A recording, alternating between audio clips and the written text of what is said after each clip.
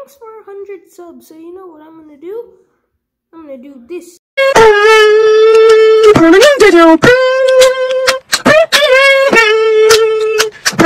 do this.